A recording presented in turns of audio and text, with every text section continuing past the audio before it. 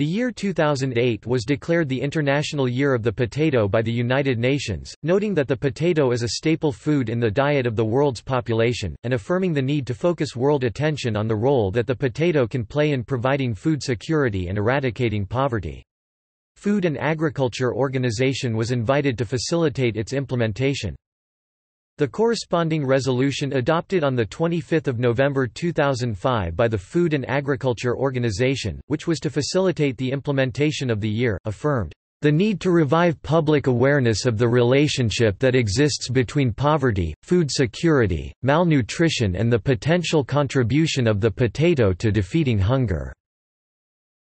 This was one of many international observances declared for specific days, months and years.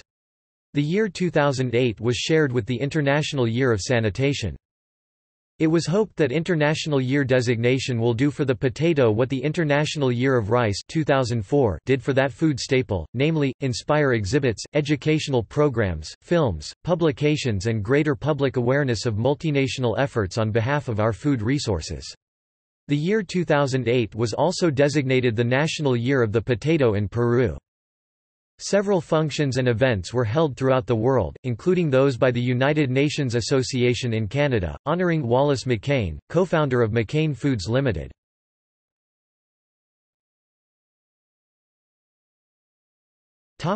See also International Year of Pulses International Year of Quinoa